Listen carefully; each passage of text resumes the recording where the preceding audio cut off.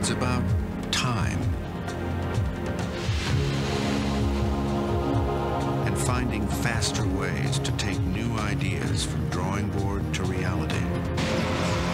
It's about the search for methods to make machinery last longer. Or make a long drive seem shorter.